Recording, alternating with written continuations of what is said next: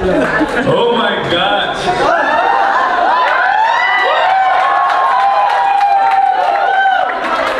Okay.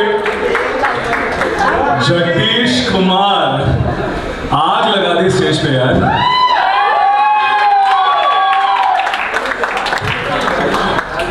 Okay guys, I have to introduce Jagdish Kumar now. Jagdish Kumar, he is an MBA graduate and working as a customer service consultant by the profession and aspired to become uh, an international drag queen. Give her a round of applause. Jagdish, do you want to say something? Just Say something. Okay, Thank you so much everyone for supporting. That's your first. Uh, that's your first. So, that my first uh, performance. so कैसा लगा? डर डर लगा?